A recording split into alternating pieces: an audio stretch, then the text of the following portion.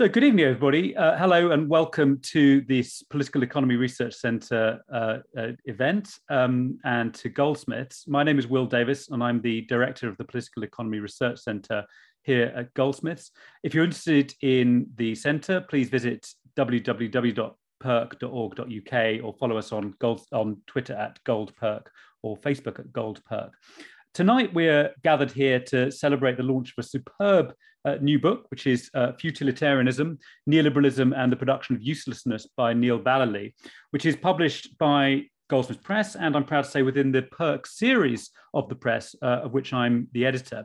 Uh, Neil first contacted me about this book about two years ago uh, to see if um, colleagues and I were interested in some of the themes of uh, the, these questions of uh, neoliberalism and the question of futility and of uselessness uh, to see if it was the kind of book that we were interested in. And I think it's actually uh, precisely the sort of topic and the approach to questions of capitalism, questions of political economy that uh, PERC uh, is concerned with, that this book series uh, is all about. And I was absolutely delighted uh, to be able to see it through to its completion with Neil over the last couple of years. Um, it offers a sociological, cultural, political critique uh, of contemporary economic life and economic uh, regimes of government. Um, and I think it takes the kind of interdisciplinary uh, approach to neoliberalism, which joins the dots between different pathologies of contemporary uh, neoliberal life.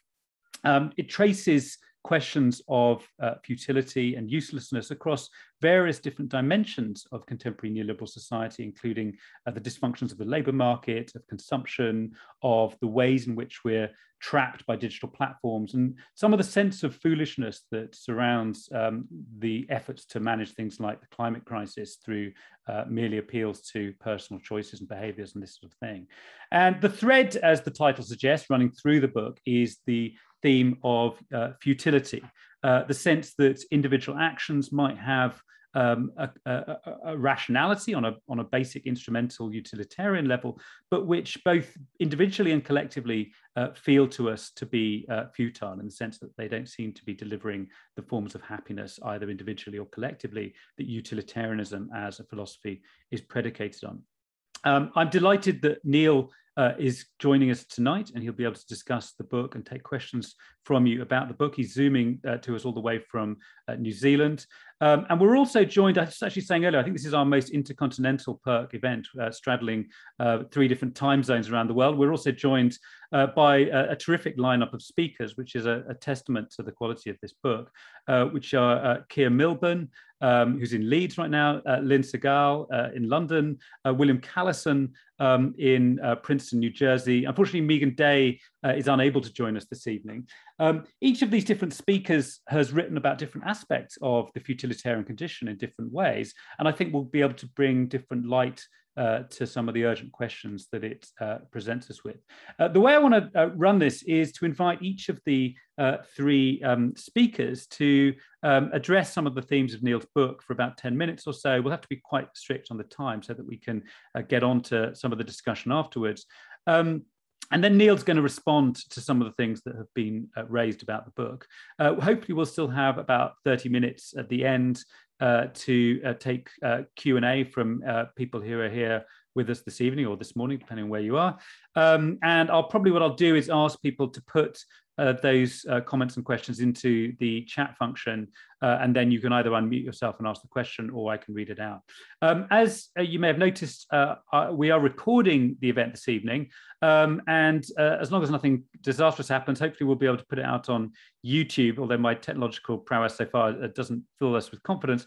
Um, put it out on YouTube. Um, so obviously keep that in mind if you just whether or not you decide you want to ask your question on and, and, and how you want to how you want to frame it. Um, I'm going to go through each of the speakers in turn. I want to start uh, by introducing Keir Milburn, who is a writer, researcher, and educator.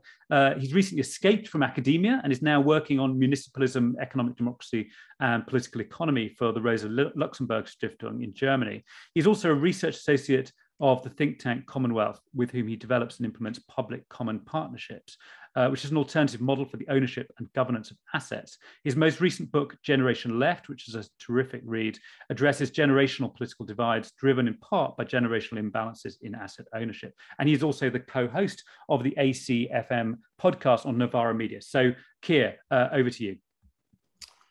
Thanks, Will. Um, yeah, and thanks, Neil, as well. And thanks, thanks for inviting me to um, uh, to take part in the launch. I, I, I, read the book. I really enjoyed the book, and in fact, I you know I found it really timely. Right, and part of the part of the reason that it felt timely was uh, because futility and therefore futilitarianism. I think we can all agree captures something about the the present. Right, about we could put it this way: the the, the contemporary structure of feeling. And I think um, it's the timeliness that I want to take seriously in my little contribution. Um, I mean, whenever whenever we read a, read something, a, book or, or, or, an article, we, we, we usually read it through the lens or the problems that we're trying to think through at the time. Unfortunately, Neil, this is what I'm going to do. What else? What else can I do? Um, but I want to sort of read it through those sort that sort of lens, which will be a bit of a generational lens, uh, and then come to the question of like what is to be done about futilitarianism because I think that's the real challenge that the that that that basing a, a, a concept around the concept of futility like the leap towards well what do you do about that? Is a difficult one I think and I want to try and get to that uh, in a moment. Um, and I think I think actually thinking about it the timeliness of of the concept of futility futilitarianism can help us get to that what is to be done. So I'll sort of work through that a little bit I think. So, so futilitarianism is, um, I, I, I, took it as, as an attempt to name the post-2008 iteration of neoliberalism. Right, and there's been other attempts to try to capture what that post-2008 version of neoliberalism is. Uh, in fact, Will Davies uh, suggested um, punitive neoliberalism as, as the way we could capture, uh, capture what's changed uh, post the 2008 financial crisis. Um, I and other people have sort of suggested uh, zombie neoliberalism uh, as a way that we might be able to capture what changed. That's gone out of favour a little bit, I think, zombie neoliberalism. Uh, for slightly unfair reasons, I think. I think people sort of took zombie neoliberalism as, as the idea that perhaps neoliberalism is on its last legs. And so the fact that neoliberalism, neoliberalism has persisted means that the, the concept was wrong. But like, I, I don't think that's fair. Like, if you think about zombies, the thing about zombies isn't that they're just about to die, uh, they're already dead, yet they persist, basically. They persist. Uh, and what the, the difference between a, a, living person and a zombie is, is that zombies persist without purpose or without the ability to, to, to self-direct purpose or to decide on a purpose for themselves. That's the bit that's missing. I'm sort of talking about George A. Romero versions of zombies, which is the canon, of course. There are previous versions of zombies, but the George A. Romero version of zombies uh, you know, they act habitually, but they can't sort of think. They act without purpose. So I think that gets us somewhere close to what Neil is trying to capture with futilitarianism. And I think we could actually return to, to Will's suggestion of um, punitive neoliberalism, right? Um, so, so the idea that, like, you know, perhaps what's what captures the sort of structure of feeling of the time is this is the attraction of witnessing the punishment of somebody else, basically right, look, we can all recognize that as well. And we can all recognize the sort of sense of futility. So how do we sort of resolve these two? And, you know, with a generational lens on, I'd probably want to say that like, that, that perhaps the, this urge to witness the punishment of others and, you know, the, the urge to escape a feeling of futility is probably, they're probably experiences that are distributed um, unevenly across the across different sectors of society. In fact, in the book, Neil gestures towards this probably more than gestures actually. He straight out says, look, this book is addressed to the, the generation of doomed youth, he says. So he's taken this generational um, uh, aspect on, on board, you know, um, and so I'd probably say something like the, the attraction of the punitive and the urge to escape the, the futile. Perhaps they lay to one degree or another on either side of, of, a, of a generational political divide. The way, the way you might get into that is is by, by looking at the aspect of futilitarianism that, that is really quite key to Neil's argument, I think, in which he, he traces the human capital metaphor, basically. He, he traces the human capital metaphor. And in a way, we could make it, we could gloss it like this. He says, you know, post 2008, we're still trapped in that human capital metaphor. Um, and we're trapped within institutions which, which have been formed around that metaphor to try to make you to be obedient to that metaphor. So, you know, perhaps we're, we're still trapped within those, but the payoff, the payoff, the, the return on the investment in yourself has sort of collapsed. Uh, and that's why we get these feelings of futility, perhaps it's something like that. But futilitarianism names the, the sense of futility that comes from being forced to engage with institutions and um, perform a certain character, human capital, um, when the future that's attached to that obedience no longer seems believable, basically. And so the easiest way to understand that is something like universities, just because the returns on education, as, um, as the introduction of fees taught us to, to, um, to, to, understand education, just because the returns on, edu educa uh, on education, the returns on that investment in our human capital has collapsed. It's not, there's no easy way out of it, right? And there's no easy way out of of the dominant forms of managerialism, right? Which also force you to conform to the, that form of, of, of, um, of, of, that metaphor of human capital. And so what, what comes out, this, this, this feeling of being trapped in these institutions, being forced to perform something, but not believing that, that, that we will get the return on our investment, I think that, you know, that produces a feeling of, of futility and, and a sort of crisis of meaning, uh, I think. I'm not doing full justice to Neil's argument, but that's one, that's definitely one aspect of what he means by, by futilitarianism, I think. Well, he can come back and say that, can't he? But what I'd want to add to that is, um, is, that, is that, that, that, that, that the neoliberal institutional reform around the human capital metaphor, which Foucault tries to get at for this idea of um, neoliberal governmentality, I'd say, look, that's only one of the asset logics. I think that's an asset logic to, to assume the logic of, of an asset. But that's only one of the, the asset logics that are informing what we'd call political subjectivation, which just means the, the way in which uh, uh, those sort of logics get embedded in your head and they give you affordances, make, make you more likely to, to, to, to understand the world and how you relate to people in a particular way or not. There's, there, there are a couple of different asset logics which inform political subjectivation in the neoliberal era, right? That human capital metaphor is certainly one of them. The other one is just asset ownership, right? And that's not, that's not going to be a surprise to anybody. The sale of council housing in the 1980s, that was specifically in order to do perform political subjectivation to produce new conservative voters, encourage people to think of themselves as asset owners rather than workers, right? Um, so let's update, if you wanted to update that, we'd probably say something like this, right? Asset ownership tends to produce rentier subjectivities, right? And human capital metaphor tends to produce entrepreneurial subjectivities. That's what Foucault says about it. You know, entrepreneurs of ourselves is the outcome of, of this sort of human capital metaphor. Uh, and so by, by, by setting it up that way, I'd want to make this argument is that perhaps what we've been witnessing since 2008 is something that Thomas Piketty sort of captures in that um, Capital in the 21st Century, his, his book from um, seven years ago, probably something like that now.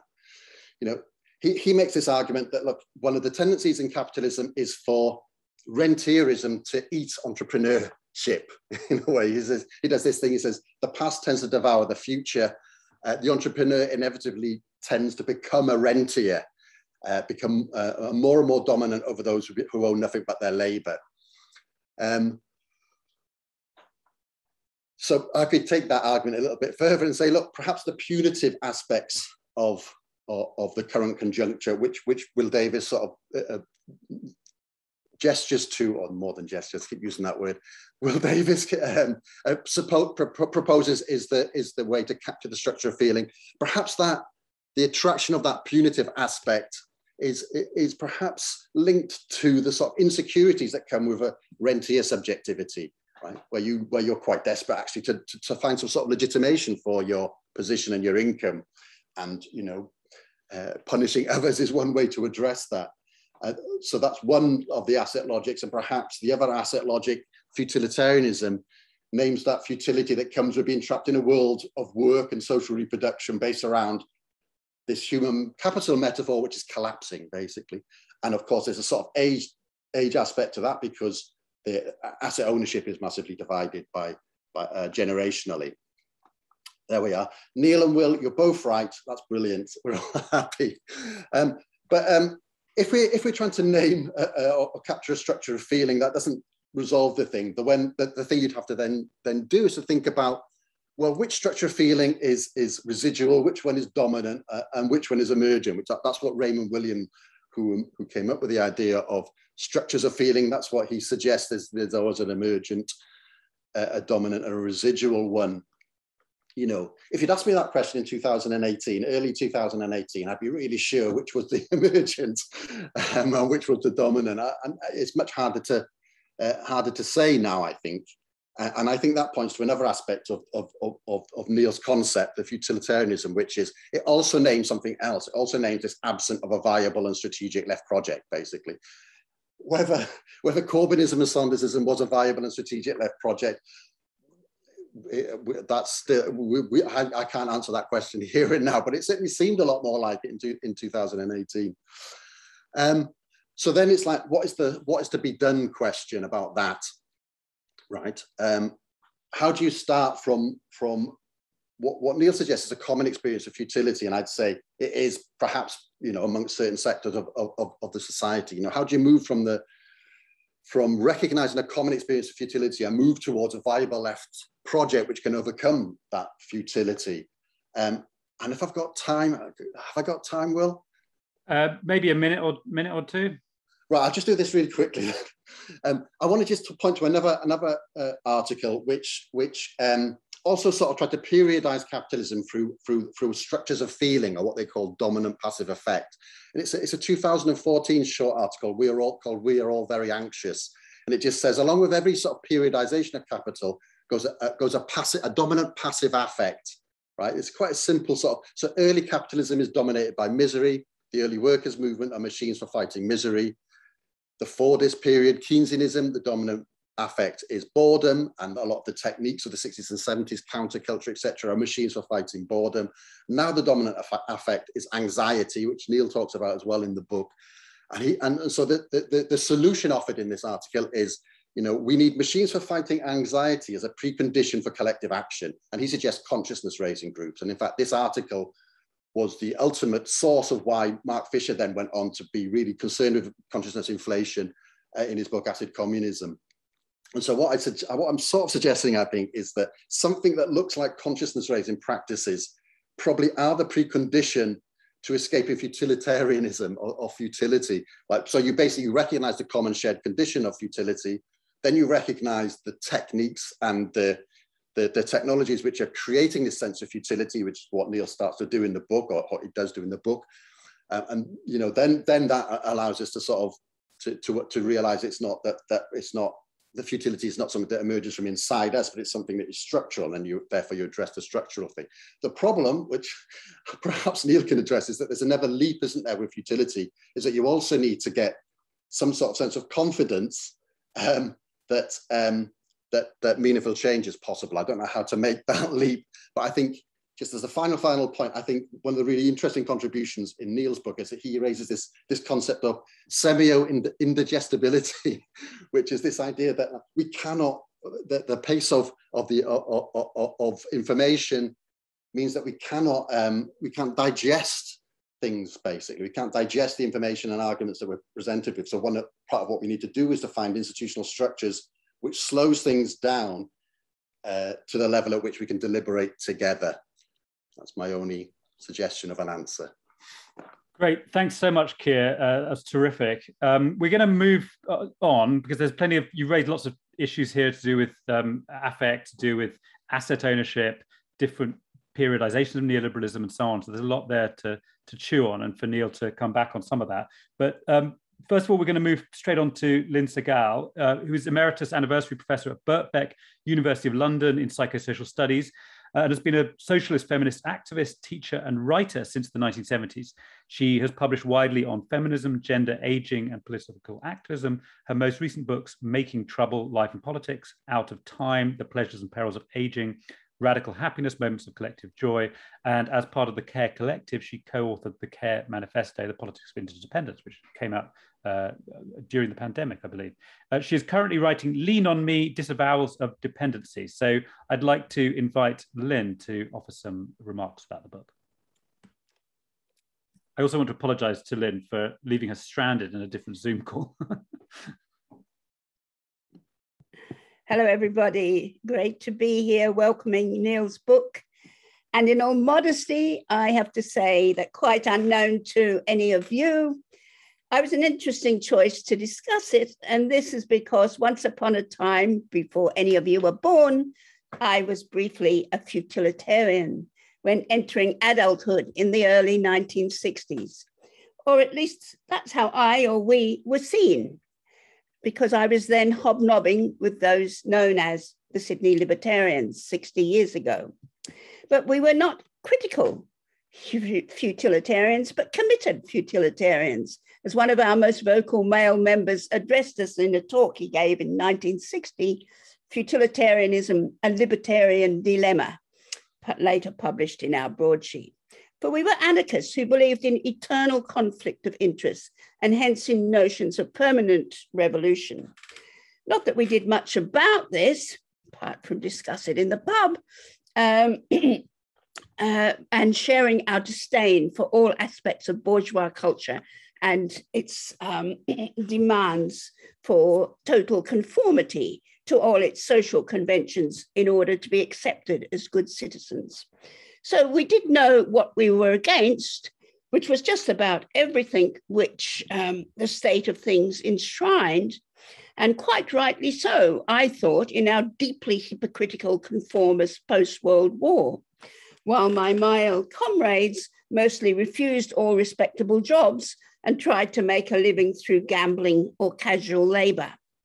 But we were not at all clear about what we were for, apart from the next beer or perhaps the next sexual coupling, for again, very much at odds with the sexual double standards of the day, we were completely committed to free love, somewhat dangerously for us women, without easy access to contraception before marriage back then. So, as I say, we didn't have futilitarianism thrust upon us by an entrenched neoliberal outlook, which was only to appear two decades later, really, forcing people into those pointless jobs to ensure the survival of an economic order and a way of judging themselves that has both normalized the evisceration and commercial outsourcing of all our welfare resources, while also creating a culture celebrating only individual achievement. For this is the neoliberal order that Neil writes about and rightly sees persisting even today post COVID, perhaps even being further entrenched. However, erratically, and hence ensuring that sense of personal futilitarianism or pointlessness that so many people see or like to suppress in their existence. So it's that neoliberal rationality that forces us into endless grooming, self monitoring, self help, simply to enhance our market value which has little or no authentic value. We know this because, as Neil again says, says here, in our current futilitarian condition, people are working ever longer hours, yet often in utterly pointless jobs. Perhaps in middle management, he suggests, surveying and monitoring everything, in which, as the late David Graeber rightly labeled, we're in bullshit jobs, jobs which are completely removed from what makes life li- worth living. Meanwhile, Neil further notes uh, that these jobs exist in stark contrast with other jobs, which actually I don't think he says quite enough about, which are essential for maintaining a healthy society. And in fact, they are where jobs are mainly increasing today, um, not to mention to create a sustainable world. And these are the jobs which are evident in diverse forms of care work. But what distinguishes them, as we know, is that they are mostly very poorly paid, if paid at all, as well as the most insecure and precarious jobs. It's also true that these are the jobs that keep expanding in recent decades that are also hard to fill because they're so devalued and badly paid. So, this is the essential work of social reproduction.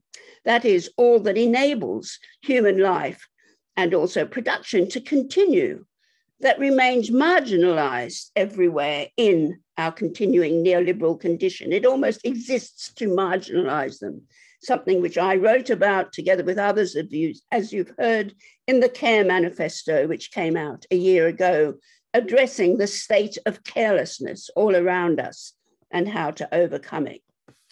Meanwhile, what is valued is so called productive work, often those bullshit jobs, but also often rather dangerously, the jobs that keep on interfering with exactly what we should be doing in maintaining a sustainable world, merely adding to the carbon emissions that the mindless promotion of GDP growth usually entails. Thus, early on, Neil also quotes the degrowth theorists Jason Hickel and Yorgos Kallis to suggest that we must end the pursuit of growth itself if we are to have a sustainable future. A crucial um, argument, I think, again, needing much more development and um, agreeing uh, with um, uh, Yorgos, Kallis, and others that um, there actually is no genuine capitalist green growth, contrary to what Johnson and others would like us to believe. Hence, ending environmental destruction, Neil concludes, means ending capitalism.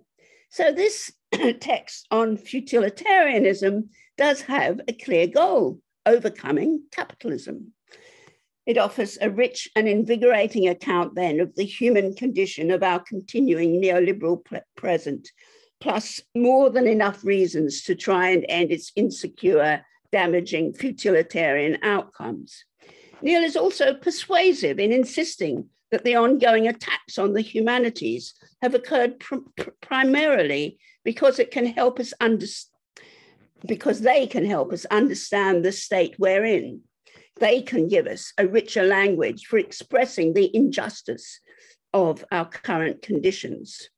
And uh, here he quotes Will, who's also written on this, pointing out that hiking humanities fees can ensure that arts and culture are redirected to the realms of the elite, no longer threatened by all that cultural critique from the 1960s onwards, often successfully redirected for subversive uses, highlighting the voices and the concerns of the hitherto silenced of the marginalized. But instead, students today are directed, even forced, to choose their courses only in relation to market outcomes, vocational endeavors with suitable salaries, and denied the tools to help critique the existing order of things, or, of course, simply to relish education for its own crucial sake. After this compelling diagnosis, however, we have to wait till the final 10 pages to find any pathway out of this futilitarian condition. So, in that very short final chapter, we find the hope that you're uniting around our shared experience of futility, whether in states of precarity, performing useful work, or underpaid essential work needing more emphasis, um, we must step, we must make the first step towards building a necessary movement for abolishing capitalist power. Well, perhaps, but tactics and strategies do not dare wave their utilitarian arm in this text. Hence, we find no real discussion of movements and their often divisive and conflictual histories, nor of the frequent futilities of oppositional party politics.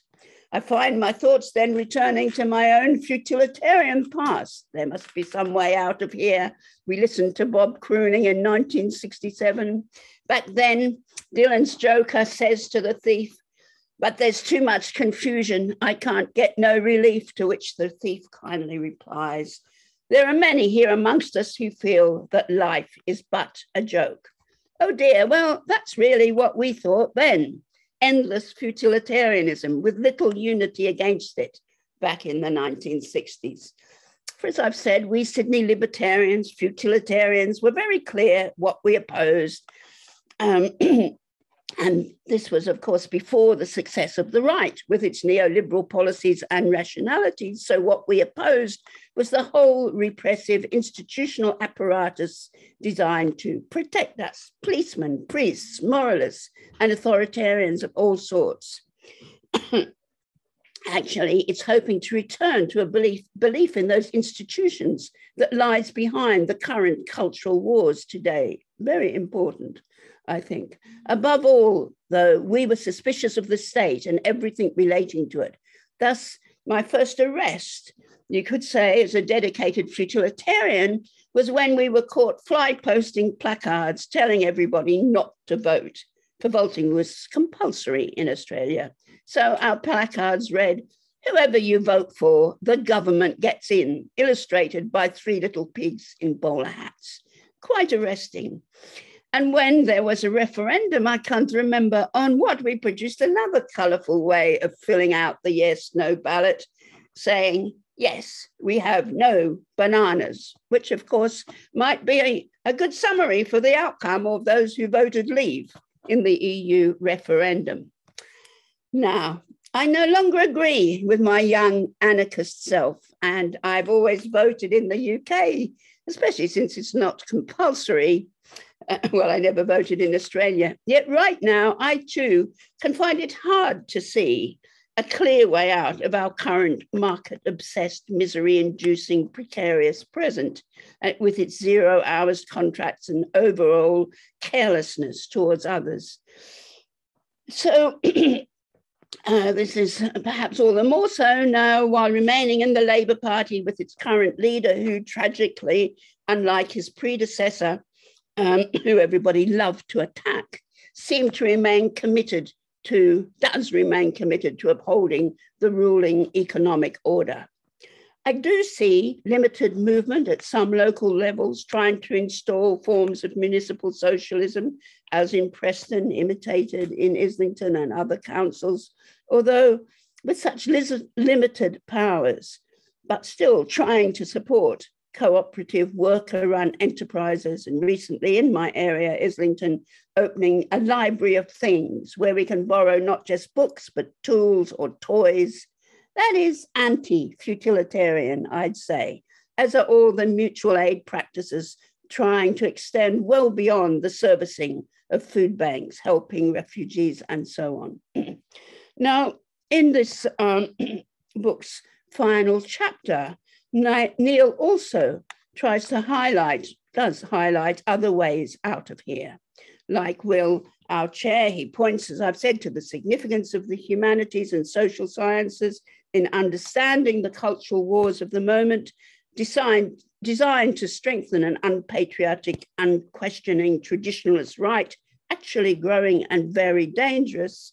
Um, because, as Will says, the humanities are seen as the enemy within a segment of the liberal elite that lacks national loyalty, especially in the wake of Black Lives Matter and its inspiration for promoting movements of anti colonial, anti racist critiques of capitalism.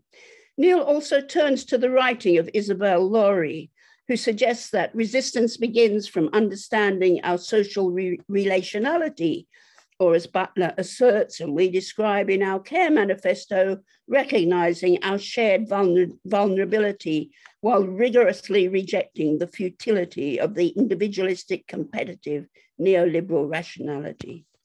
But surely here we have also to appreciate the rise of white, that white nationalist authoritarian political formations, also mobilized by anger, people being mobilized by anger at seeing themselves economically abandoned in neoliberal shifts and eager to blame all the wrong people. So this is um, the opposition that we have to be fighting at the same time as fighting for what Neil hopes to see, which is a new commons, a commons created by a common thread that connects us all, but is defined by all that we oppose, from austerity and financialization to militarism or neglect of asylum seekers and climate change. So I'd, of course, like to see a little more grounding for this becoming common rather than the resistance of the right, um, and of all that might bring us together in trying to overturn corporate capitalism for the sake of the common good. I think I saw hopes of this, for instance, at the World Transformed six weeks ago, where indeed I lo- last saw Keir, but perhaps I'll hear a little more about it today. So I really welcome this book. Thank you. Thanks so much, Lynne. Uh, that was terrific and uh, some fascinating glimpses into the genealogy of futilitarianism and confessions of youthful futilitarian behavior, uh, which has uh, cast this into a, into a different kind of light to the extent to which some of these forces are on, on the left as well as on the right. Um, I'd like to now turn to William Callison. Um, William is a political theorist and a member in the School of Social Science at the Institute for Advanced Study in uh, Princeton, New Jersey, I believe. He is co editor of Mutant Neoliberalism, uh, which is a, a, terrific volume on some of the recent uh, authoritarian and populist and nationalist uh, turn within uh, neoliberal politics, uh, of near, near Futures Online and Rethinking Sovereignty and Capitalism. And he is currently writing a book about haywire liberalism and far right politics. Uh, so uh, we are zipping over now to um, New Jersey. William, are you are you with us? I can't. I am. Yeah, you are. Great. Hi. Yeah. Hello. Um, so I'm very excited to, to be here um, in such great company and to follow on uh, Lynne and Keir uh, to discuss Neil's new book, which is not just a panoramic reading of the present, but also an engrossing read the book is kind of at the end, I was thinking about what, what I found kind of most admirable about the book. And it's really a model for theorists like myself who uh, wish to map and to interrogate different political, economic, cultural logics across multiple spheres of life. And the real novelty in the book for me lies in its readings of so-called micro-political phenomena. So affect, desire, subjective experience, and in the connections it draws between them and macro political systems. So, systems which simultaneously, Neil argues, thrive on micro political activities of individuals and thwart any progress that individuals can make at that register. Another uncommon and compelling feature of this book and why I call it engrossing read is the levity with which it uh, navigates subjects that are often quite bleak, which is to say, uh, Neil, in case you were wondering, at least one of your readers really loved the jokes in the book, both noticed the jokes and, and, and enjoyed them. Uh, so beginning with, and really in the spirit of Marx's famous punchline or punchlines about Jeremy Bentham, Neil delivers a litany of tasteful takedowns directed at Obama, Blair, Pinker, several politicians in New Zealand, Fox News host Steve Hilton, among many others. And I was going to open with a couple of the jokes, but then I realized I would run out of time. So you'll just have to read the book to get the jokes your, yourself. So to open my remarks, um, what I'm what I'm going to do first is just offer a few, not really more than a few words, um, uh, some thoughts about the general argument of the book, and then I'm going to turn to a very specific question about the, um, the ambivalent politics of futility and its relationship to nihilism. So cheery, cheery topics to come. But first, let me begin with the, this excellent title and the concept of the book, Futilitarianism. What is futilitarianism? Well, let me offer an example. Futilitarianism registers the feeling I had last week when I read an email from my alma mater sent to grad students with the subject line, I kid you not, and I quote, a beginner's guide to investing in stock.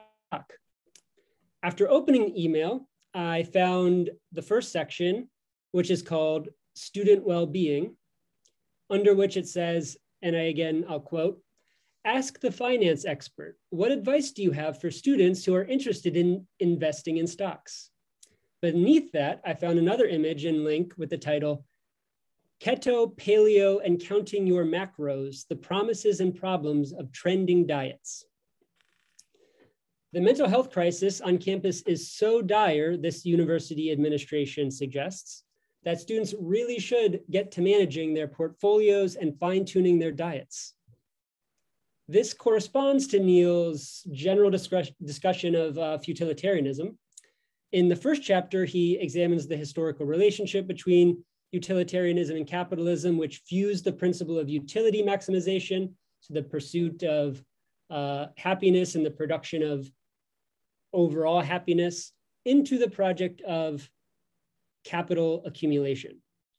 Here, Neil argues that the logic of utility has what he, he uses this word quite often flipped.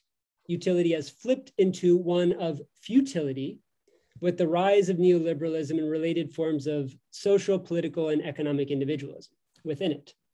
From the outset of neoliberalism into its contemporary mutations, Neil explains, and I quote, existential futility is the logical outcome of the historical relationship between utilitarianism and capitalism, end quote. What Neil explores then is a condition of deepening entrapment of individuals, both despite and because of their attempt to improve their own conditions, which is to say, we inhabit a system in which, as we pursue individual and often also collective goals, we become less happy, more anxious, more indebted, and more exploitable. So this is utilitarianism in some admirers, and now I'm thinking about it a little bit differently with Lynne's talk just now about uh, attachments to utilitarianism, but we could say it's utilitarianism, uh, the admirers utilitarianism turned on its head because it's not yielding greater happiness uh, in this form, uh, quite the opposite. Unsurprisingly, one of the sites Neil discusses is the contemporary university and the explosion of adjunctification, supposedly on the basis of cost benefit analysis, as we're all very familiar with. Drawing on post structural thinkers, Neil also examines social media and digital communication more generally, which run on the proliferation of information engagement, but again, undercut our capacity, well, in this case, undercut our capacity to use language to make meaning which results in, as Keir also uh, mentioned, what he calls semiotic indigestion. A lot of uh, very colorful metaphors here. In this and many other sites, Neil explores how self-help, self-marketing, self-branding become both imperatives uh, of their imperatives of both self-improvement, but also entrapment. And more broadly, he discusses the need to self-brand and how this leads to paranoia and how the injunction of responsibility leads to anxiety. He writes, and here I quote, a world of self brands can only produce an illusory community, which is brought together by a sense of shared paranoia. The community of self brands is characterized by the need, by need and distrust. The need for others to buy into the brand and the distrust that others have and will continue to have whether and if they buy into the brand. Beyond this, why does self-branding and the self-branding of human capital lead to feelings of inadequacy, despair, despair, and futility? Well, one of the key mechanisms that Neil discusses or and, and mentions in passing as well is internalization. For example, anger is turned inward and is translated into anxiety which on a psychoanalytic level is also a psychic defense against this external world of extreme precarity. This analysis that, that Neil offers, and I'll talk a little bit about internalization in, in a second again, but this yields what I think Neil calls a futilitarian paradox, or he talks at least about a paradox. Our age seems to be defined by an intractable paradox, Neil writes, and I quote, Taking on greater responsibility is ultimately useless in ensuring individual, collective, or environmental well-being. The reason for this paradox is not that responsibility is pointless, but that the kind of responsibility we are encouraged and in many instances forced to take is one that places the entire burden of systemic problems on us as individuals. This problem is also presented in the form of a question as a kind of riddle which Neil quotes from a 1981 speech from none other than President Ronald Reagan. And I quote, if, if no one among us is capable of governing himself, then who among us has the capacity to govern someone else? End quote. What strikes me about Neil's discussion of this Reaganite riddle is that we are confronted with a kind of deep internalization or even a kind of psychic twist on what political scientists call collective action problems. Whereas collective action problems refer to cases where individuals are better off cooperating, yet fail to do so because of conflicting interests. The futilitarian paradox, or the futilitarian collective action problem or action problem, refers to how subjects can pursue their happiness and even certain kinds of political projects, and yet the larger systems already in place work against the possibility of achieving this happiness or achieving these goals. In turn, this is quite devastating for the goal of transformative and emancipatory politics. Now, the book concludes, as, as Lynne was just discussing, by taking us from futilitarian entrapment to a more hopeful reflection on what Neil calls becoming common, which is to say the prospects for collective political action. But what I'm going to do in the last little bit of my comment right now is to do is is something else instead, and I'm going to talk about a much more ambivalent uh, place and part of the book, which is nihilism. Neil discusses this question, but I think it could be a very generative uh, kind of area for further inquiry beyond the book. Indeed, I would argue that Neil's book opens up a kind of Pandora's box, precisely because his concept and his, uh, his concept and his analysis of futility is so useful, using the word useful with a wink, uh, for critical theory, for critical inquiry.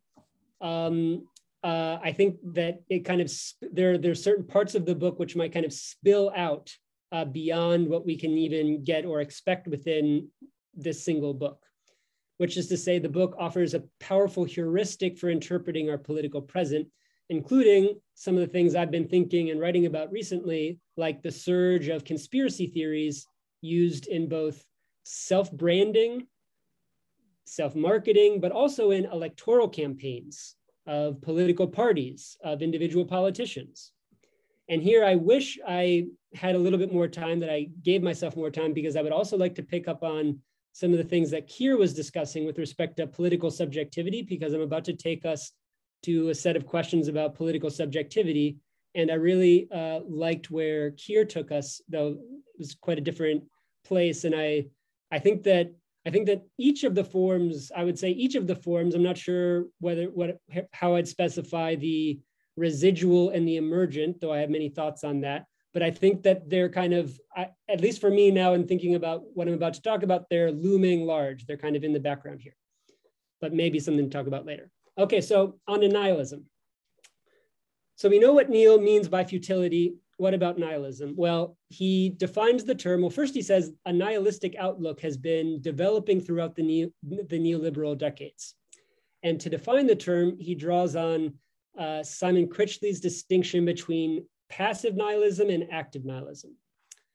Whereas the passive nihilist, quote, looks at the world from a certain distance, finds it meaningless, closes his eyes and makes himself into an island, according to Critchley, the active nihilist also finds everything meaningless, but instead of sitting back and contemplating, he tries to destroy this world and bring another into being, end quote.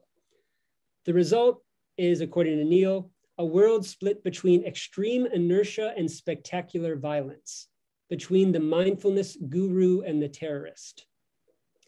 Futility is different than nihilism, however, Neil argues, as the concept of futility makes room for another dimension in the meaninglessness of neoliberal life. Quote, where nihilism entails taking up a certain outlook on the world, futility is much more insidious and internalized. Futility is thus a form of entrapment in the pursuit of meaningless, uh, in, the, in the pursuit of meaningfulness, where we are forced to repeat daily behaviors that ensnare us deeper into the pure logic of competition and individualism.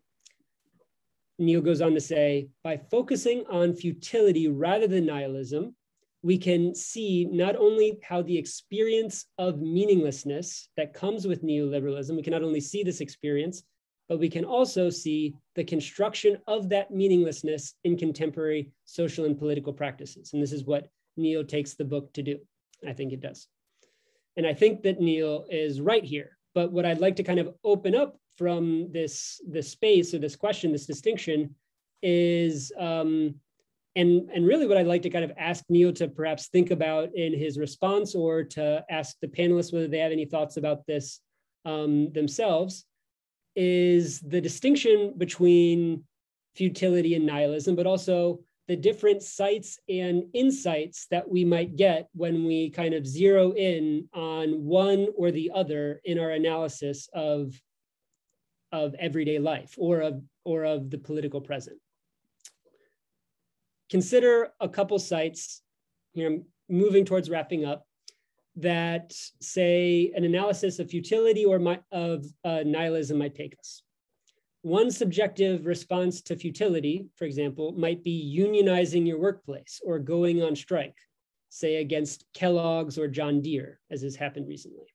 Another response might be to blame yourself or to blame or even harm others, especially what we would say the wrong kinds of others, say immigrants or trans people. Here, to go darker, we might also consider the question of violence active nihilism, we just heard, yields a kind of violence that includes very off-cited examples like incels who act out by murdering women, or so-called incels, but there are some famous instances where we've had these, these murders, or instances of far right or racist terror.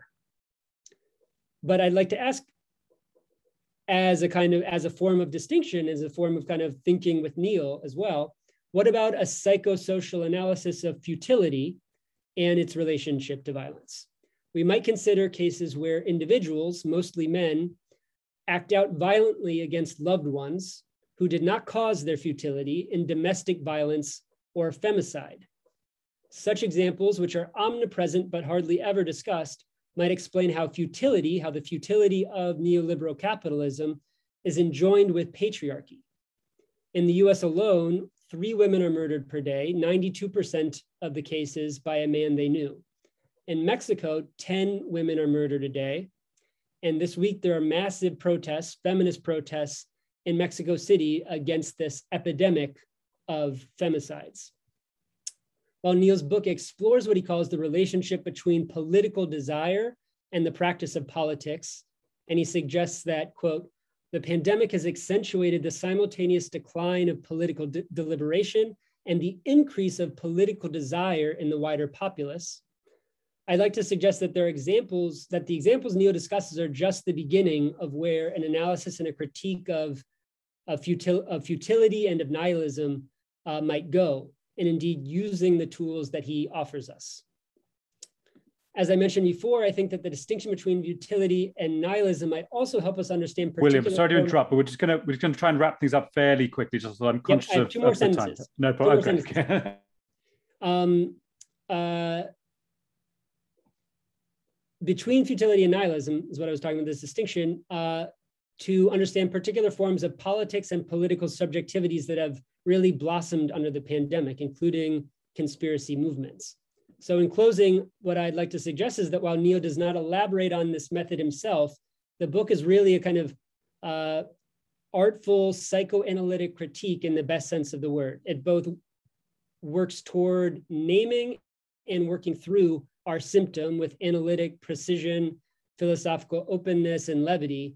And it shows us how naming and working through this symptom, futility, and perhaps also nihilism, can help us work collectively against the systems that have rendered so many of our activities futile today. Thanks.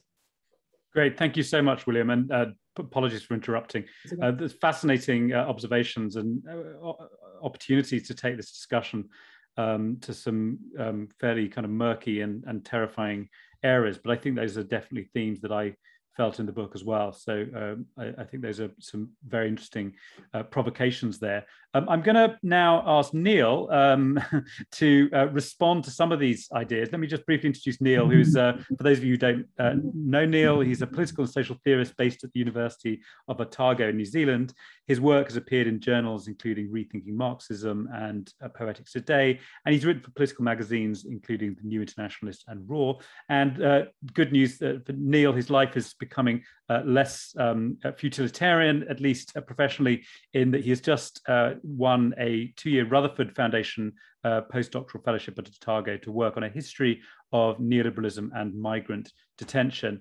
Um, so Neil, um, uh, we're going to ask you to perform a, a, rather impossible task now uh, to respond to some of what you've heard, which covers obviously a huge range of areas, but um, perhaps you'd like to uh, come back and say a bit about the book and, and, and respond to some of the, the, the topics that have been raised.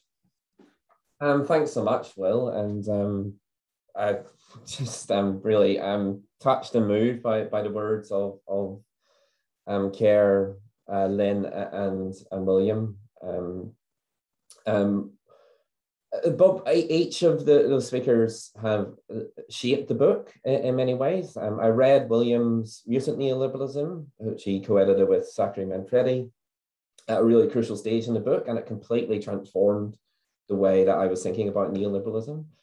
Um, Keir's work, as he kind of intimated towards in, in his discussion, um, he is talking about the generation that this book is kind of emerging from. Um, and I think Keir's work, um, anyone out there who knows it will know how, how important his book Generation Left has been um, for kind of thinking about how we mobilize in the future on, on a political level.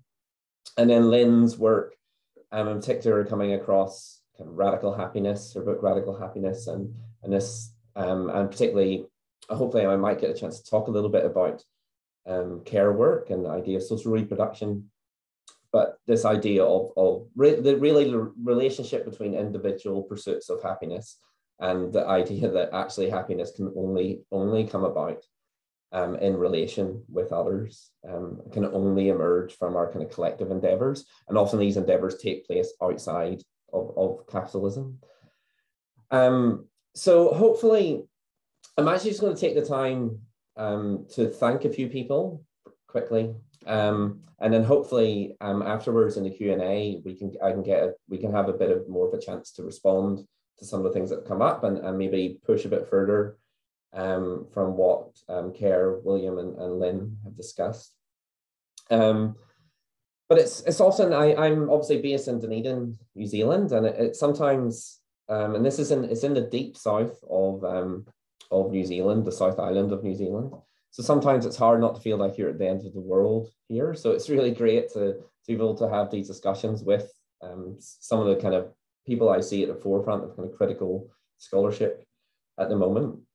Actually, there's a legend that has it, um, quick aside, in um, a city, uh, uh, just the furthest south city in Dunedin, Invercargill, um, or sorry, in New Zealand is Invercargill, which is the only other city further south than Dunedin. And there's a legend that has it that um, it's either Mick Jagger or Keith Richards.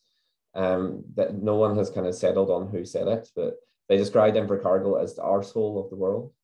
Um, so it's really great to be able to talk to you from somewhere near the arsehole of the world. Um, I've really got to thank Will, um, Will Davies here, many of you will know. Um, um, first of all, for embracing this book project when I, when I first brought the proposal to him and really seeing potential in this idea of utilitarianism and really pushing me towards developing the, the, the kind of theoretical foundations of, of the idea.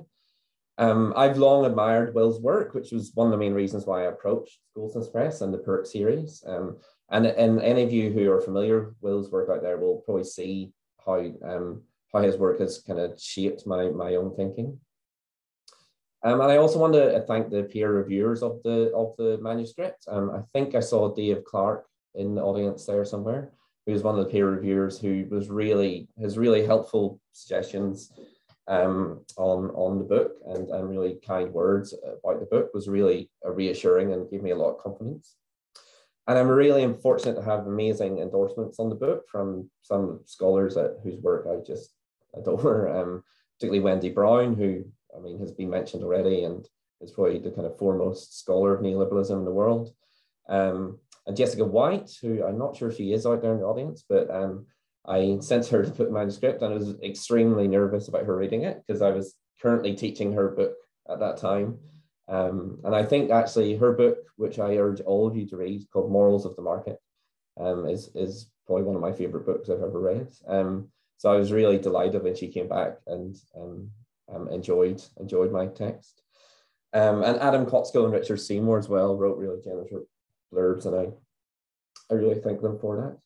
And the Goldsmiths Press team have been remarkable. Um, Susan Kelly, um, who was the editorial and production manager, um, I think we bonded because she was from Dunedin. Um, so um, And uh, she just, the work she put into the book was just phenomenal. And I, I really am eternally grateful for that. And the rest of the staff at Goldsmiths Press have been excellent. They're really, really great um, press, and we really need more radical university presses that are kind of public facing.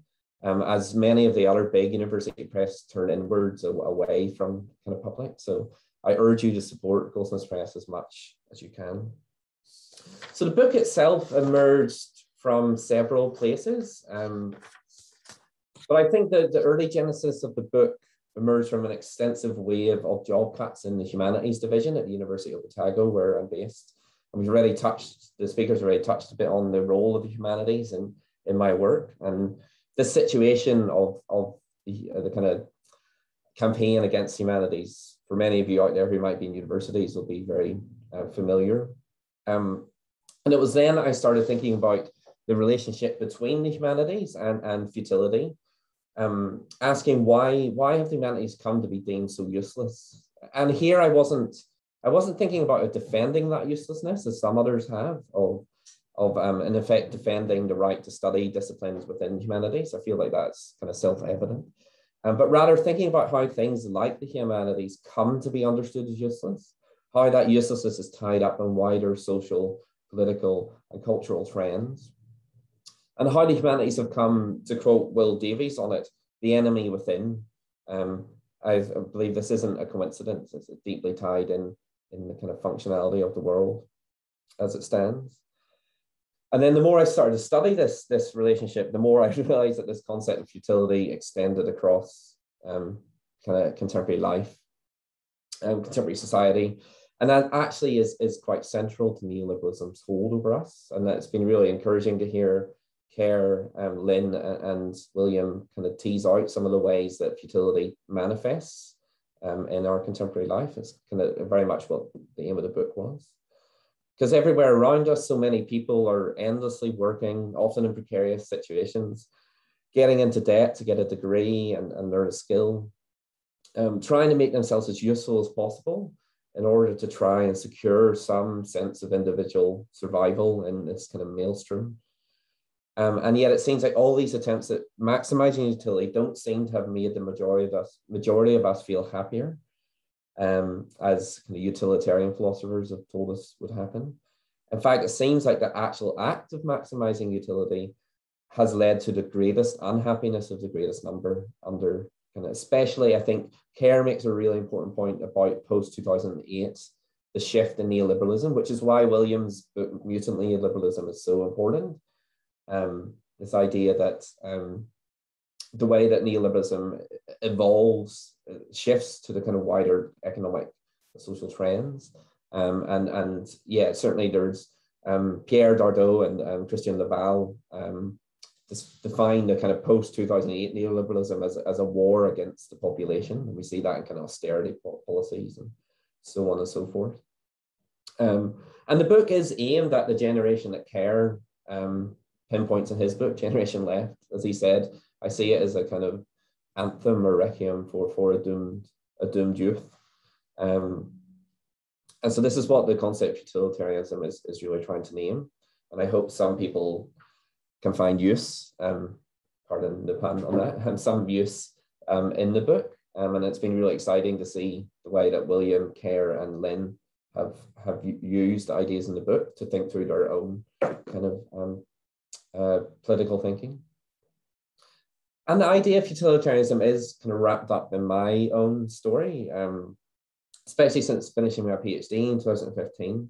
I've been working on a series of, of casual contracts within the university that take up so much time, are terribly paid, and have no provisions for research. So any writing and thinking I did for this book was all done on my own my own time. And the real big breakthrough for the book came when my partner um, Linley. Um, uh, she was awarded the writer in residence position at University of Canterbury in, in Christchurch, New Zealand. Um, and this enabled me to take a six month break from teaching. And that's when I really broke the back of the book. So without Linley getting that position, I don't think I would have been able to write the book. Um, and then when we came back to Dunedin in early 2019, I decided not to teach and instead um, find a job where I could just go to the office, do the job, and not have to think about it outside, and spend the rest of the time trying to finish off the book. Um, so I ended up getting a job writing death notices and classified adverts for the local newspaper in Dunedin, the Otago Daily Times, um, which I'm sure is where many of you get your, your hot news from. Um, in fact, I think it was um, the day after Trump was elected, um, which I think was probably quite a major global story. The headline, the front page of the ODT was um, New Zealand Cafe wins best sausage roll in New Zealand. Um, so, um, so the irony of spending my days writing classified ads at ODT while writing a book called Futilitarianism is not lost on me. But at the same time, that, that job did enable me to finish the book. So um, I'm grateful for it on some level. Um, and obviously now, as Will said, with um, the Rutherford Foundation postdoctoral fellowship, I'll actually have a couple of years to to to do research and write, and hopefully the next book, if, if there is a next book, um, might be written in slightly more conventional circumstances. And of course, with any book, um, it's not only the author's ideas um, that are in here, and each page bears the imprints of, of many conversations I've had with friends and colleagues. And I can't name them all here, um, um, but you all know who you are. I can see you out there. Um, um, but in particular, I'd really like to thank my PhD supervisor, Lynn Tribble, um, who's been a great inspiration for me um, and is one of um, kind of one of the most kaleidoscopic minds I've ever come across and such a great support over the years. And my friendships with people like Catherine Deal, Sonia Mitchell, Ryan Gallagher, uh, Mark Seymour, who I see out, out there, who's been a kind of head of history at Otago and a real mentor for me in recent years, and Simone Drichel out there, whose work I think Lynne talked about this idea of um, shared vulnerability and and Simone's work um, on relationality um, and and vulnerability, I think, is some of the most exciting research um, I've ever come across, and she um, has been a real deep inspiration for me uh, and my work.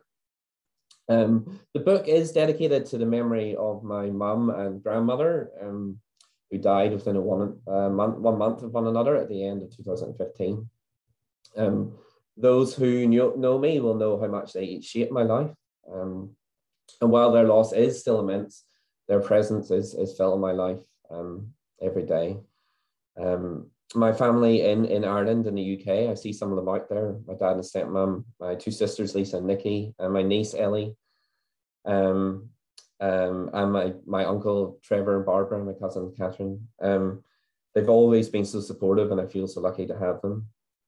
Um, and my partner's family, Stuart and Carol, who are here in the house, um, uh, Megan, Mike, and the, the twins in Wellington, Darling, Grant, Max, and Emily in Sydney, been so welcoming to me here in New Zealand and have really enabled me to feel like New Zealand is my home. And they're really, truly special people, and I, I feel so indebted to them. And then, of course, the final, the biggest debt of gratitude goes to my partner, Linley, who some of you out there will know is a renowned poet and essayist in New Zealand. Um, and in many ways, she is kind of co-author of this book because so much of the kind of conversations and the ideas that were formed in the book came from, from long conversations with her. Um, and she also remained steadfast in her belief that in the book, um, especially at times when I thought, why the hell am I writing this thing? Um, I'm writing death notices during the day and at night, writing um, political theory. Um, but her support really enabled the book to happen. And, and more than anything, she she makes life worth living. And um, so none of this would have been possible without her. And then almost two years ago, um, it's actually his birthday. We're having his birthday party tomorrow. We um, we added our son Malloy to to the midst. Um, and actually, he could probably be added as a co-author because I spent so much time reading with him strapped to my chest or lying on me asleep. And actually, without those periods of stillness, I wouldn't have got so much of the reading done for the book. Um, and he is such a joy, and he could not care less that I've written the book, and um, I uh, love him for that. So I'm sorry I haven't actually directly engaged with Lynne Williams and Keir's book, but this is kind of the only opportunity I'll get to really thank those people. But I hopefully in a Q&A uh, over the next 10, 15 minutes, we can engage in some of those ideas. Um, but I think hopefully that means the book is launched. And so please read it and buy it. Even if you just use it to, to prop up a table, that's still useful in some level. Um, so thank you very much. That's terrific, Neil. Thanks so much for sharing um, the, the the story of the book and the and the personal context, which is always uh, absolutely crucial to any book. And and it's it's it's really lovely to hear uh, some of that context. Um, I'm just I, have asked if anyone has any questions they want to write them in the chat. Um, uh, and so far nobody has. But do just uh, jot anything, drop anything in there. Do specify if there was anything that anyone said, whether it be Neil or anybody else, uh, that you would like to uh, ask a question about, um, and, um, uh, and we can take them there. Um, uh, so there's obviously lots of lots of different things have been raised about the about the book. Um, so I'm now slightly busking it, wondering what the kind of going on with the kind of Q and A. But do you want to, since it's kind of, I guess, one of the freshest things in in my own mind, is there anything that, that you have to to to say about about this question of nihilism, since that was was where the previous uh, contribution ended up, and and and obviously, I mean, uh, William took things towards some of the sort of darker, violent edge of of some of what you describe, which is not just uh, affective, but but um, but but existential and and and fatal potentially. Yeah, I think that I was really pleased that William um, picked up on that um, this, that relationship between futilitarianism and, and nihilism because um, it's only a kind of short bit in the introduction, um, but it was a relationship that I had been thinking about in context with the book for quite a while because I was thinking, is am I basically just describing nihilism with the idea of futilitarianism? How is futilitarianism somehow different to nihilism? And how, I guess the question, I think Lynne even um, uh, kind of intimated towards this. I was, I was trying to think about how do we actually gain some some hope out of out of the situation. And so what I was trying to kind of do with the idea of futilitarianism is build a bridge between nihilism and kind of action, but uh, action that's positive and hopeful. Um, but um, as as William kind of points out, um, and as other scholars have pointed out, you know, nihilism is is a real kind of fundamental aspect of neoliberalism. Wendy Brown makes this point. Um, Mark Fisher, who you know, whose work I imagine many of us is really influenced on the left. Um, he even described it as nihil, nihil liberalism. um, so there's a kind of sense that that that this idea of of meaninglessness and is is really central to the to the condition that we find ourselves in at the moment, um, especially um, in the midst of the kind of COVID nineteen pandemic. Um, but I guess what I'm trying to do with the idea of futilitarianism is to show is to show that, that this this feeling that often might we might name as nihilism, this idea of feeling hopelessness, of of of just feeling a sense of trying to constantly get ahead and and it's one of the great kind of paradoxes of neoliberalism is that it, it passes all responsibility and autonomy onto the individual and at the same time it dismantles all the kind of social collective structures that can allow you to even carry that responsibility. And um, that's really pinpointed in Lynne's work around care. Um, and this is something i'm working on with a colleague of mine anna maria Murtola, we're writing quite a bit about social reproduction and, and the essential worker. Um, but I think what, yeah, so I'm trying to get at this um, yeah, relationship between the individual and the collective. And I think what I what I argue is that this feeling that we have, this sense of utility, is not a defect of our individual characters, as you know, the kind of emails that Will William was reading out from the university. Even the university is trying to tell the students, this is all your responsibility. It's not a defect of our individual characters, but actually an effect of this kind of social economic system that we live in. And actually, one of the fears, um, as, as William pointed out, is that anger gets, there's no expression for anger, it gets turned inwards. Um, you mentioned this, Will, um, in your book, Happiness Industry, as well, that this kind of self help industry is about critique turned inwards. And I guess with futilitarianism, I'm trying to turn that critique outwards. I'm trying to get us to dispel that anger away from us in a way that does not end up in nihilism, in a way that might actually generate some sort of collective hope um, together and working together.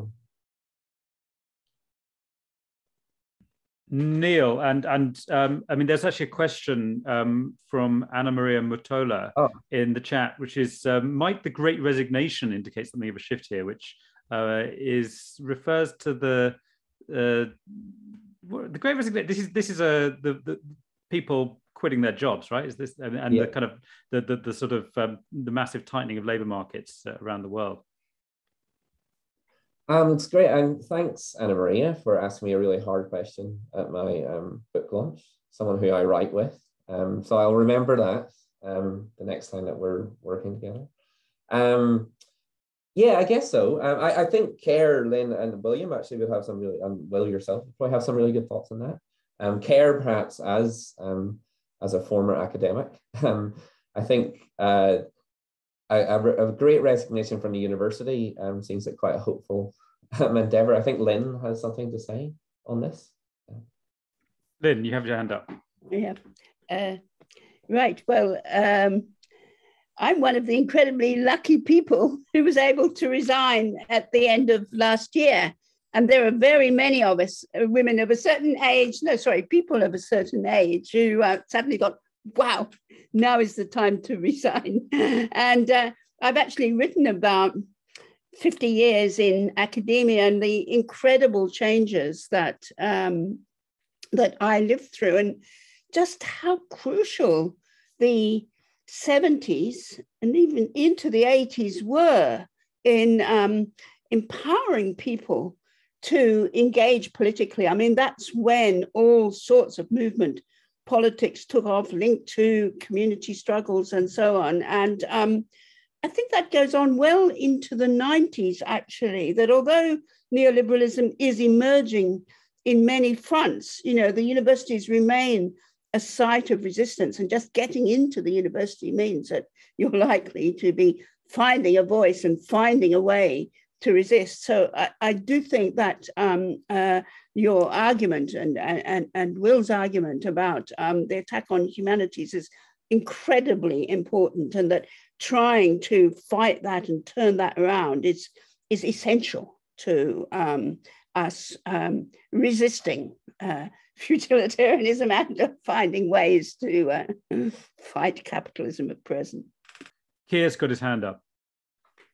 Yeah, sorry, there's some questions in the chat now. So, but I just wanted to, uh, uh, to to address this idea of the Great Resignation because, you know, part of what part of what's going on is that um, is people are sort of are not taking shit jobs or uh, are demanding higher wages for shit jobs, and uh, and basically people are sort of it's, it's as though the the sort of like the pause of COVID, but in particular the sort of the, the sort of temporary welfare state of COVID has allowed people to sort of like have a little bit of time out, almost like a little bit of um, digestion time for um, for you know that that pause from that like dramatic uh, um, uh, constant overwork uh, to have a little pause and think about well what's life about? Do you know what I mean? Um, and I think I, uh, we should probably take seriously that that little bit about the sort of temporary mini welfare state. It's a bit of a it's a bit of a sort of US phenomenon in particular because everyone got their $1,400 checks, etc., which allowed them to say, well, well, great, I'm not going to work then. Um, but I also wanted to just just just to come to, to to what you were saying, Neil, in response to to William's idea about you know um, about nihilism and like you know perhaps the ways in which all right, put it this way, the ways in which anti-futilitarianism might take on a right-wing um, aspect for instance. I, am thinking in particular about the conspiracy theories that, that William was was um, uh, was was pointing to. So we could take the best one, the not quite the Ur one. I think it is the Ur conspiracy theory these days, which is QAnon. Um, you know, and part of what QAnon gives to people is, you know, you get uh, you get meaning in life. It's a meaning that you have to contribute to. Um, and you also get a little bit of an enchanted life. Your life becomes a little bit enchanted uh, because you know you're um, you're you're suddenly doing something which is of world historic importance. The point, of course, right, is is still futile because actually you're doing absolutely nothing and you're interpreting things which are meaningless, right?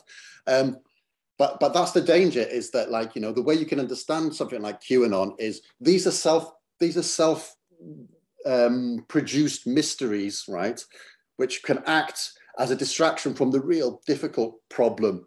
I, I was talking about this the other day where I rewatched, rewatched Memento, the film Memento, and I'm going to do spoilers on Memento, so everybody turn off if you haven't heard them.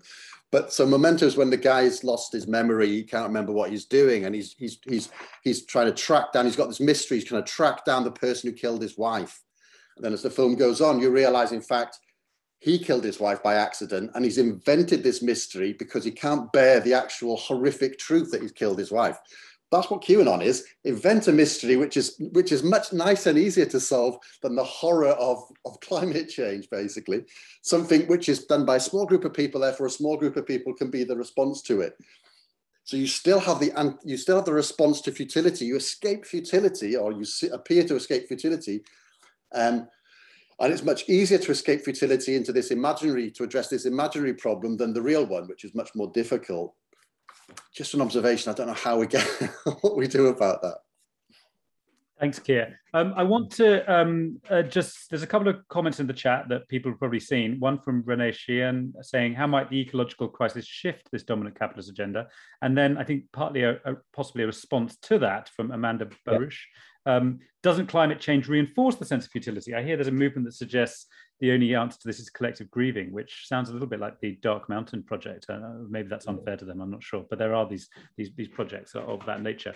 Um, I, I, think probably it's best that we come back to, to, to Neil on this because yeah. climate change and, and eco collapse are features of your book. Uh, you talk particularly about buycotts as a kind of futile um, strategy for, for sort of expressing one's own sort of powerlessness almost, and then also um, antinatal um, movements which seek to kind of you know take on um, uh, the, the, the, population control and so on. Um, could you just talk a little bit briefly about? I mean, we're running out of time slightly, but what, what is yeah. the place of ecological crisis in your in your thesis, and and, and what you would say yeah. to these two comments?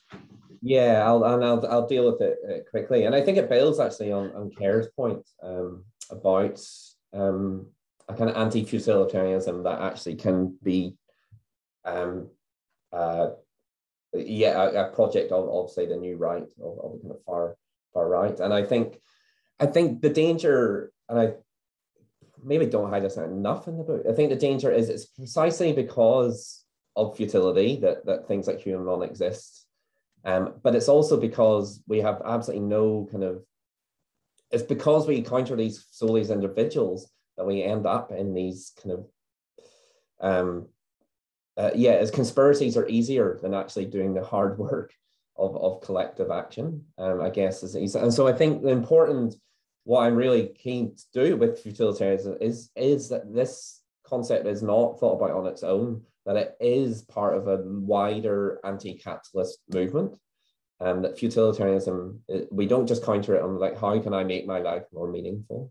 And I think this manifests in the way that, that we think about the climate change or, or the capacity we have at the moment to counter ecological collapse. Because this is this is the this is our time this is the the the problem of our era essentially of our age of of humanity essentially uh, effectively.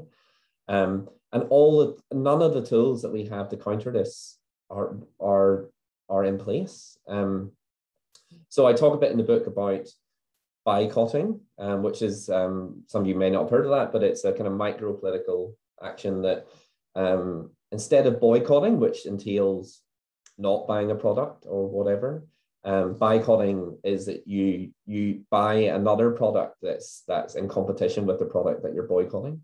So what it allows us to do is feel like we're being ethical the same at one time, but also consuming at the same time. I talk about the anti-natalist movement, the idea that we should all stop having children, um, which really doesn't take in any kind of differences between the way that global north countries kind of eat carbon, carbon resources and global south countries don't.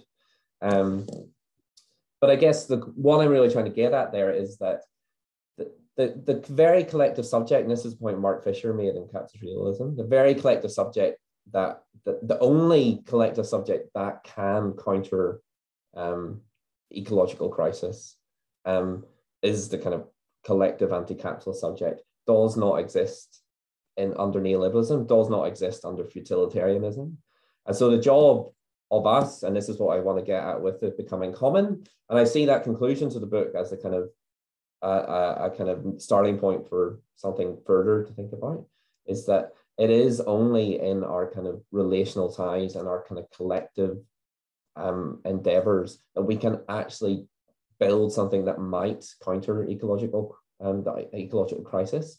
As obviously, I'm talking here about a common common that is anti-capitalist, but that is our only hope. Um, otherwise, futility, futility is our future. Futility is ultimately the kind of will be the history of humanity. Um, I don't know if that quite answers the question, but um, but that's what I'm trying to kind of get at in the book with, um, my uh, discussion of climate crisis.